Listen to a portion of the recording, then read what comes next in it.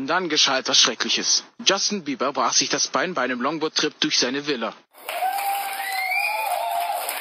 Hey Peter Apfel, ich habe vorhin erfahren, dass ich einen Großvater hab. Tja, und ich bin sein Kleinvater. Äh,